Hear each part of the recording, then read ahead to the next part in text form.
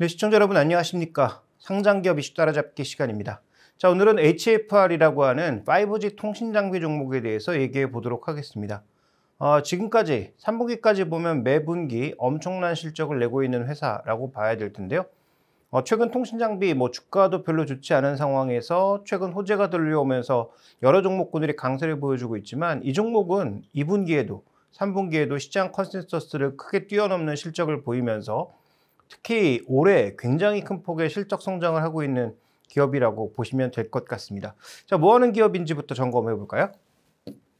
자, 지금 이쪽에 보시면 굉장히 다양한 장비들, 그 밑엔 굉장히 다양한 공급사들이 적혀 있습니다. 자, 이거 하나하나가 다 뭐 하는 장비냐? 알기 어렵죠. 아실 필요가 별로 없습니다. 우리가 뭐 이쪽 분야에 정말로 전문적으로 뭔가 어, 이 공부해야 될 만한 그런 상황이 아니라면 일단 기본적으로는 이 플렉시올 장비를 중심으로 해서 5G 전반에 대한 어, 여러 가지 장비를 만들어내는 회사라고 이해를 해보시면 될 것 같고요.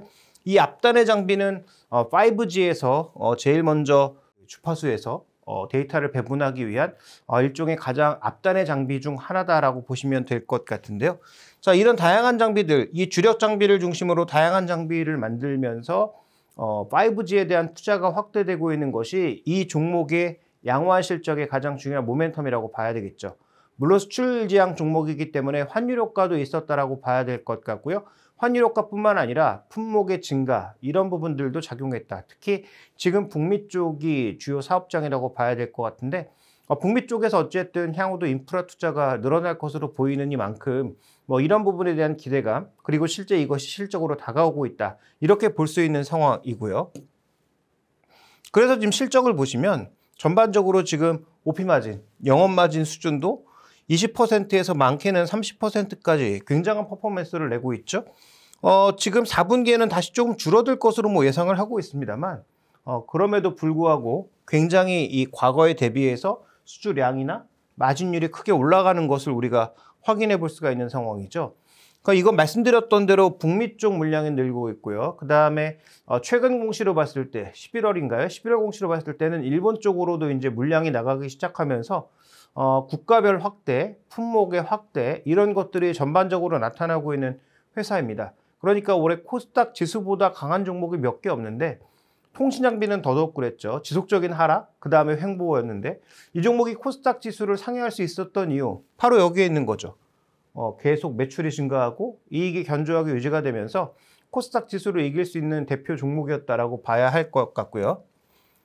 자, 그래서 이제 주력 시장은 북미 시장에 플렉시오를 포함한 5G 장비라고 봐야 될 것 같은데 이 장비들의 전체적인 매출이 CAPEX가 어떻게 유지되느냐가 관건인데 작년보다 대부분 다 늘었습니다. 어, 3대 이 통신사들의 전체적인 CAPEX가 다 늘었고요.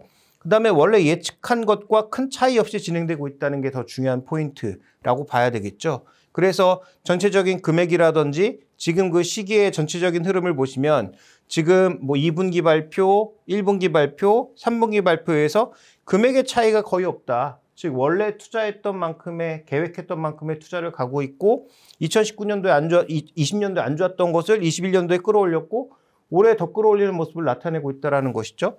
오히려 티모바일 같은 경우에는 금액이 조금씩 더 늘고 있는 양상이 발견되고 있습니다. 그래서 이 북미 시장이 주력 시장인데 주력 시장에서 가장 고객이 될 수 있는 이 통신사들의 예, 통신장 어, 그 캐펙스가 일단은 최소한 유지가 되고 있다. 그렇다면 올해 실적은 이미 뭐 답보된 상태라고 봐야 될 것 같고요. 그 다음에 3분기 실적이 좋았던 것도 추가 수주가 이어지면서 좋아진 부분이 있는 것이죠. 그럼 내년이 어떻게 될 거냐라는 게 관건 아니겠습니까? 근데 내년도에도 그러면 이런 투자들이 급감할 거냐? 지금 미국의 5G 투자가 끝났느냐? 그렇게 볼 수 없고요. 그 다음에 지금 우리가 생각하는 여러 가지 서비스들, 뭐 XR 서비스라든지, 어, 그 다음에 뭐 다양한 컨텐츠를 제공하는 그런 이 컨텐츠 서비스라든지, 그 다음에 이제 공장에서 나타날 수 있는 다양한 디지털 수요라든지, 이런 것들을 대응하기 위해서는 클라우드도 증가해야 되지만 5G와 같은 어, 이런 통신망의 전반적인 업그레이드도 동시에 진행돼야 되는 상황이기 때문에 이것이 뭐 미국처럼 땅 큰데 전국망을 깔지는 않겠지만 어느 정도의 추가적인 투자 수요가 크게 줄어들진 않을 것 같다. 이렇게 봐야 되는 상황입니다.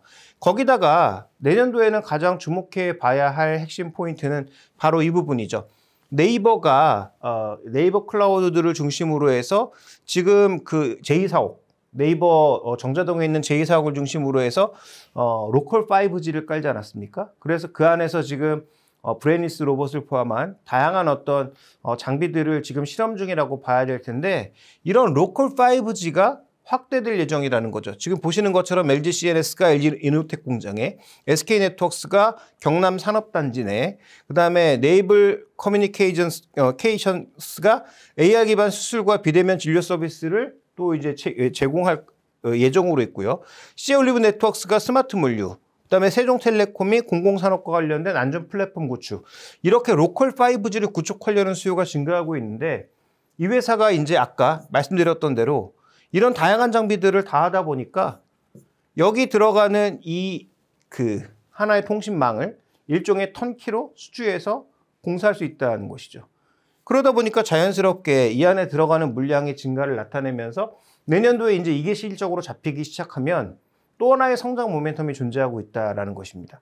그래서 기존에 이제 북미의 공급이 잘 되면서 아 올해가 정점이고 내년부터 좀 둔화되지 않을까라는 그런 우려가 있었는데 의외로 일단 미국 수요가 굉장히 탄탄하게 나타나고 있고 일본이라고 하는 국가가 거기 또 덧붙여져서 나타나고 있고 거기다가 로컬 5G라고 하는 새로운 매출처가 또 발견되기 시작하면서 기존 제품들의 판매가 크게 둔화되지 않을 가능성 그래서 국내 쪽에서의 모멘텀이 줄어드는 것은 조금 아쉬운 부분이긴 하지만 여전히 해외 쪽으로는 모멘텀이 좀 열려 있죠. 그 다음에 아직 구체적으로 물량이 잡힌 것이 없어서 이 부분은 조금 지켜봐야 되겠습니다만 그동안 시장에서 저평가받을 수밖에 없었던 통신 장비가 최근 뜨고 있는 이유 바로 이 부분입니다.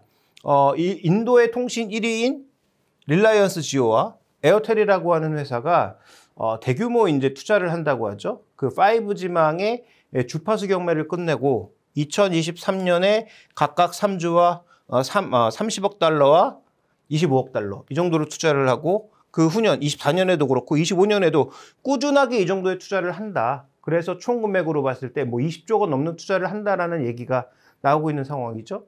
그러면 여기에 삼성전자가 주력 장비 업체로 들어갔기 때문에 삼성전자를 따라갈 수 있는 회사들이 뭐 최근에 주가가 춤을 추고 있는데요.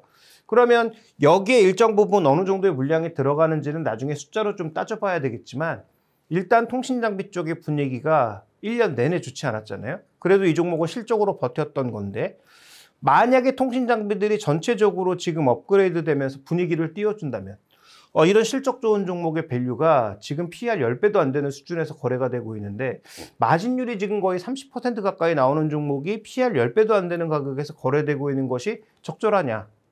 라고 반문을 던졌을 때 통신장비 전체 분위기를 보면 또 이 종목이 실적 피크를 찍었다는 걸 만약에 고려해 보면 그럴 수 있죠. 그런데 아까 언급드렸던 대로 실적의 피크가 아니고 통신 장비가 전반적으로 지금 이 회사가 HFR이 인도에서 얼마의 수출을 하던 안 하던 그거 상관없이 전체적인 어떤 시장의 분위기에서 통신 장비가 될 것 같다라는 분위기가 나타났을 때 그런 분위기가 또 달라지죠. 설사 만약에 HFR이 올해 실적에서 내년 실적이 flat으로 간다고 하더라도 통신 장비 전체가 이제 upside로 가버리면 그러면 전체 해당 업종의 value 자체가 올라가는 것 아니겠습니까? 그래서 지금 뭐 대부분 적자거나 실적을 내지 않는 그런 기업들이라서 거의 바닥으로 깔려 있는 건데 인도 수주 가능성을 보고 여기에 숫자가 찍히기 시작하고 전체적인 시장 분위기가 업그레이드 된다면 그러면 이 종목의 저평가도 더 해소될 수가 있는 것이죠.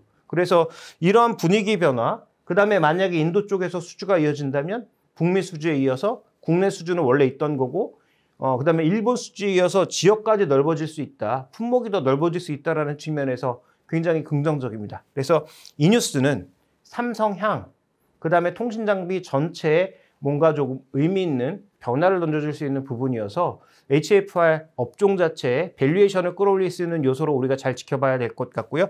정말로 이쪽에 숫자가 찍히는지도 어, 장기적으로는 지켜볼 필요가 있겠습니다. 자, 마지막으로 그렇다면 내년도의 실적의 전반적인 upside는 줄어듭니다. 그래서 하나증권 자료를 기초로 봤을 때 2021년도 비해서 실적이 올해 엄청나게 대폭 업그레이드 됐죠. 내년도에도 업그레이드 되긴 합니다. 주력 장비를 중심으로 해서 전체적으로 업그레이드가 되는데 다만 그 변화의 폭은 줄죠. 그래서 옆으로 flat으로 갈 수 있다라는 말씀을 그래서 드린 겁니다. 왜냐하면 이 통신 장비라고 하는 게 내가 많이 만들어서 좋은 제품을 보내고 싶어도 받는 쪽에서 안 받겠다고 하면 보낼 수가 없는 거 아닙니까? 그럼 재고 쌓이고 또 실적이 급격하게 악화될 수 있는 부분이니까 항상 이런 설비 종목군들은 그런 부담감을 안고 있는데요.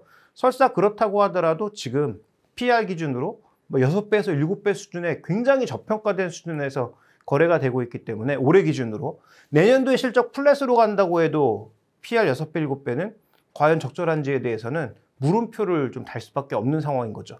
말씀드렸던 대로 인도발 어, 모멘텀이 통신장비 업종으로 나타난다면 현재 내년도에 추가적인 매출이 증가하지 않는다는 것을 전제로 해도 현재 주가는 좀 너무 싸 보인다라는 것이죠. 그래서 우리가 공격적으로 뭐 올라갈 때마다 추가 매수하고 뭐 추격 매수하는 그런 종목은 아니라고 할 수 있겠습니다만 올해의 성과를 놓고 봤을 때도 현재의 주가는 좀 싸 보이고 내년도 실적 성장이 제한적이라고 하더라도 싸 보이는 상황에서 지금 통신 업종 자체의 전체적인 분위기를 업그레이드 시킬 만한 뉴스들이 나오고 있는 만큼 해당 종목 올해도 잘 버텼고 올해도 코스닥 대비 좋은 수익률을 보였던 HFR이 내년도에도 강할 가능성이 있다라는 측면에서 저는 뭐 삼성전자 향 종목군들도 좋은 종목군들이지만 올해 실적이 좋았고 내년도에도 모멘텀이 있는 아까 말씀드렸던 5G local 5G에 대한 모멘텀이 있는 HFR도 여전히 좋은 종목으로 봐야 한다. 관심 종목 안에 넣어둘 필요가 있겠다라고 보고 있습니다.